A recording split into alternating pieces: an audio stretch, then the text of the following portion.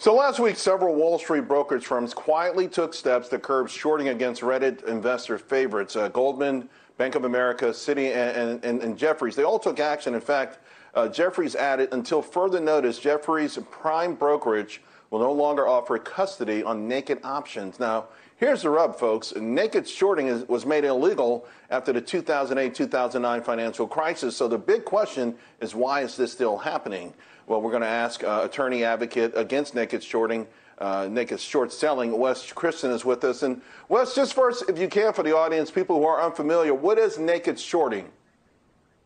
Well, first, Charles, thanks for having me. Uh, naked shorting, simple version, is a seller sells stock that they don't have to a buyer who sees it in their account electronically, but it hasn't been delivered, and the buyer gives the seller money for ultimately nothing that was delivered. The simple version would be if you and I, Charles, took our car title and Xeroxed it 100 times and sold it to 100 people, and each of them paid us cash, we, but we only had one car, that would be a good analogy to what naked short selling is. In Texas, simple version, we call that stealing.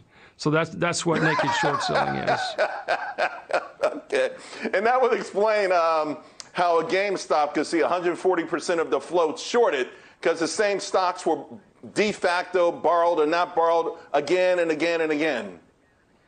No, no, no doubt, and and there's really multiple reasons for for why it still exists. one is it's an enormously large problem, contrary to what some of the uh, other financial press says. For example, in 1993, uh, the fails to deliver were probably uh, several million dollars. By 2003, those fails to deliver in the aggregate were about $6 billion. According to a Suzanne Trimbath's book, Naked, Short, and Greedy, which came from a, the source of the SEC, just in two weeks in July, the fails to deliver were $17 billion.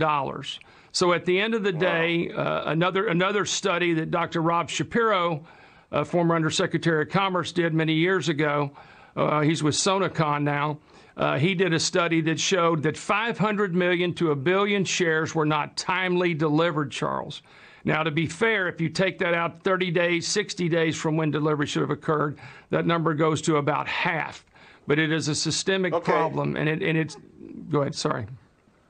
So, so no, because I so, don't want to run out of time, and I, have got a couple of other things. Hedge funds, we know, are, are, are big culprits. How? So, I mean, what do you? What's going to happen here? I guess let's cut to the chase.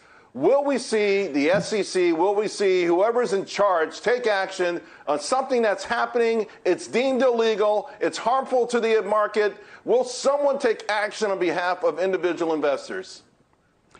I think we're seeing a sea change. The, the, the, reality is, who's really doing most of this from where I sit? And if you look at the regulatory actions at sec.gov and FINRA, it's really the prime brokers.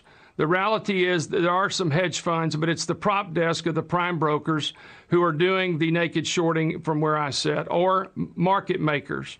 And so uh, ultimately, they've got to be looked at. And, and the SEC has fined a bunch of them for mismarking tickets uh, long when they're short, really, uh, for uh, pre uh, pre programming computers to right. say uh, easy, hard to borrow stocks, easy to borrow.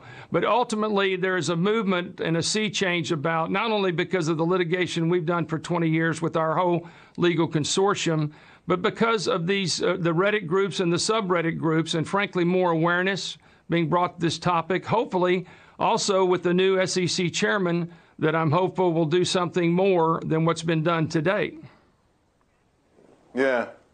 Yeah, Gensler has made comments that gives me hope as well. Everyone knows the problem. We know it's all about money. It's all about Wall Street making money at the expense of an honest stock market. And that's why a lot of individual investors have shunned the market. And once they've gotten in, they become victimized by this. Wes, I wish we had more time. We don't. Uh, congratulations, though. You've got a lot of people out there looking up to you and hoping that you can uh, continue that 20 years worth of work. I think we're right at the finish line.